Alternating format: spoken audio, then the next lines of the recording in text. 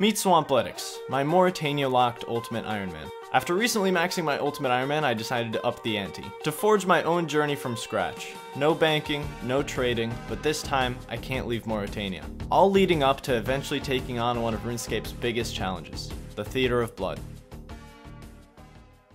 I have yet to cross this bridge successfully. Welcome back, by the way. I think this is where I'm starting episode 2, so if you haven't seen the first episode, I'd highly recommend for you to watch that. I'm currently trying to get 15 agility to enter the Haunted Mine, and you know, if I could just get like one successful jump across this bridge, that's equal to like seven and a half fails, so. I dropped all my food here just so the gas wouldn't eat it. I'm gonna need a lot of food to make this happen. And honestly, I'd like to call this a short-term goal, but I still haven't made a successful jump, so for all I know, this could be taking like upwards of 20 hours, so. Alright, one final fail and we get two agility. Hopefully the success rate is like noticeably higher once we get these agility levels. Uh, I don't think I'm really going to notice anything for the first couple, but hopefully I notice later on. I think this is going to be just about it. I don't think I can do too much more with this inventory of food. I might be able to get like 50 more XP if I'm like actually probably not maybe like 30 30's a good guess just barely making it back dude everything hit me a zero on my way back it's definitely the 5 defense but honestly I got extremely lucky like I should not be alive right now Yes, Ulysius, you are absolutely correct. I have no idea how I'm alive either. Yes, this is the most important random event in the history of random events. I've been waiting for one for so long. Okay, this is, I have to take this seriously. This, uh, this could change everything if I can get something that isn't like feathers or like only arrows or something, then I could sell them for GP and actually start to, to work on some of my goals here. Alright, 68%. I literally went as fast as I could and I got 68, so I don't think I could uh, I don't think I could have done better than that. Alright. The moment of truth. That is really good. Oh, that is super, super good. I'm very, very happy with that. The um, the runes will definitely sell for a solid amount. I don't think I'm wearing any arrows, so I'm just going to wield these. That's cool. That's for future range training, which I, I don't think I'll be training range for a while, but this is really good. I can finally start getting some GP. I've been living on a one coin for all this time. So apparently pots and buckets in this shop are only one and two coins, rather than the, uh, what, two and four they were in the uh, Canifis shop, so... 72 coins for a nature rune. That's awesome. That's so good. Uh, I think I'm going to hop every single world. I need to get as much as I possibly can out of these, so I will hop 30 worlds and I will be right back. Alright, we've got 1.1k to our name, which is 1100 times more than I had before, so we have a lot to do with this money. Uh, the first thing I'm going to do is actually start crafting. In order to complete Nature Spirit, which is a sub-quest for just about every other quest in this region, I not only need 20 smithing to make the silver bar, but I also need 18 crafting in order to craft the sickle. So what I'm going to do is work on some crafting. I'm just going to, yeah, I'm going to start with beer glasses and then I'll just work my way up. And I'll also get a ton of XP from actually making the glass itself. So this should be all right. That was a lot to pay for an inventory of this, but at least you get a lot of XP from it. I don't think I'll be doing that many trips because you get 220 XP per inventory for just making the glass, and then I'll also get uh, XP for shaping it, so... There's two crafting already. What a beast. All right, there's 12 crafting, which I can now make oil lamps, and I think I want to test this out. I think I can actually get some of my money back here. These are going to be like the first thing that sell for a decent amount. Uh, I've currently just been selling them for zero, so I mean, at least I'll get some return on my money here if these sell. Three coins, that's not bad. That's actually not bad. I'll actually start getting some money back. Alright, this went extremely quick. There's 18 crafting, which means I can now create the sickle. Uh, so the only thing I need now, I can also craft leather chaps, that's cool. I might actually make some myself some armor in a bit here. Uh, but as soon as I get around to getting into the Haunted Mine, I unlock smithing, and then with 20 smithing, I can complete the Nature Spirit quest, so... That agility is what's holding me back right now. So just out of curiosity, I wanted to see if this store buys things for more than the charters and the store in Canifis. Oh my god, it does. 10 coins. Yeah, the, the Chargers were buying it for 3, so this is definitely where I'm going to go to sell stuff from now on. Alright, so what I'm going to do now is I need to replenish my Ecto tokens. I don't really have that many left. I've got 4.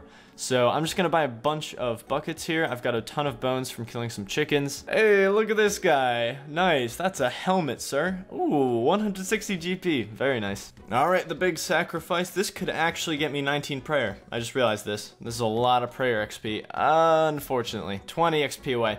All right, let's claim these Ecto tokens, and this is going to be, what, 55?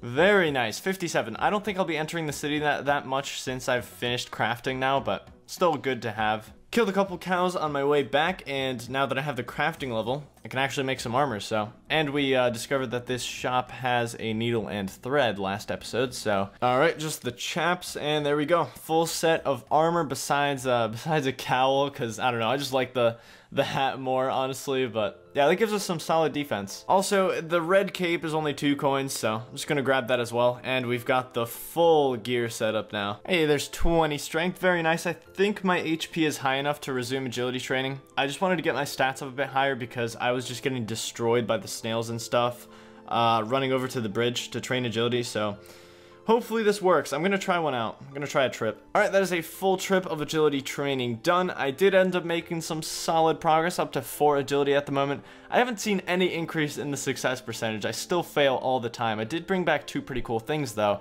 Brought back the shell and the snail, which... As soon as I get this chisel from this shop here, you're gonna see how cool this is. Alright, let's use our chisel on this bad boy, and this is going to be our best in slot helmet. There we go, the Snelm. And uh, this is actually more than just a pretty shitty helmet. Uh, as you can see, it has some defense bonuses, but that's not really the main thing that you get from it. It actually lowers the damage from snails in the swamp, which is like a huge portion of the damage I take, so... This is why I wanted it. I'm sad to see the hat go. It was so nice, but... Snail, on the other hand, could be my best food source. The thin snail, which is the one I have, heals anywhere from 5 to 7. So, it, I mean, it's almost twice as good as what I'm using right now, which I'll show you guys what I'm currently doing for food. So I start off my trip in Canifis, and I usually buy the chicken and the beef and just whatever other meat, doesn't really matter. After that, I make my way to Port Phasmatys, which has the closest range. I pay the two ecto tokens to get in, and I usually burn most of my meat, unfortunately. Uh, but yeah, it's, uh, it's not too great. Oh, I cooked the snail, that's so good. I was not expecting to cook that on the first try, but that's really good. After that, I have to walk from Port Phasmatys all the way to the Canifis Gate, and this is where I've just been waiting for my run to recharge, because if I don't wait for a 100 run, I just get absolutely dumpstered in the freaking, uh, in the, in the swamp, so. Yeah, 7 fishing. Beautiful. Alright, I managed to get 5 agility this trip, but I don't have enough food to really do much more. Also, there's a snail camping in the bridge, so... I think I'm gonna have to hop worlds. Another monumental discovery, my friends. 120 GP for a Snelm. That is such an amazing moneymaker. Yep, whenever I need money, that's what I'm doing. That's so good. You know, legend has it that scientists are currently studying this account because they are baffled at how many discoveries it has made over the past 30 minutes. Look at this. Do you know what these are? These are moonlight meads. Can you burn a moonlight mead? No. How much does it heal? 4. Does it have any debuffs? No, because it is literally the best food on the planet, and it costs 5 coins, and I've been cooking chicken this entire time. I have peaked. Nothing will top this at this point. So I have done a couple trips with Moonlight Mead. It has helped a ton. It's still really slow, but at the same time, it's a lot faster than it was. The only problem now is I have to make more money. So it's a good thing that I found those Snelms because uh, it's draining my cash stack a lot quicker than the chicken was. And there's 9 agility, oh, so good. 6 levels to go.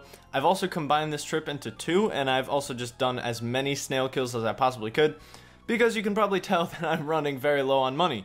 So, uh, yeah, I have killed a bunch of snails, and as soon as I craft these, this will be like over 1k GP, so. Okay, since I have so many of these, I think the blue one is my favorite, and I'm just gonna sell the rest of them, so this is to be a lot of money. Very nice. And there's 10 agility on a success. Very rarely happens, but there we go. 10 agility, 5 levels to go. Alright, here's 12 agility. Oh, of course I take a 6. That was brutal. Yeah, 3 levels to go. I think I have plenty of money to finish this off, so very happy. I have noticed an actual increase in success for once. It's actually nice. Oh, that's a success. Yeah, 14 agility, one last level to go. That's exciting, dude. That's extremely exciting. This is so brutal, man. I've got 10 XP to go, but I have absolutely no food. I just have to wait it out. All right, we've regen to 12 HP. Let's see if this is it. No. Oh, I took a 6 as well. I decided to risk it, decided to stay, and uh, let's see if I can give this one more shot. No. Oh no, and I'm 2 HP. I have to sit and regen again. Alright, please, please be it. Come on, yes! 15 agility. We are done. That has just unlocked so much content. That has actually, this changes everything. This has just changed everything. You already know what we're doing next episode, my friends. We are exploring the haunted mine. We're getting gear upgrades. We're starting mining, smithing. We can complete nature spirit soon. Oh man, this has just opened so many doors. I'm extremely happy.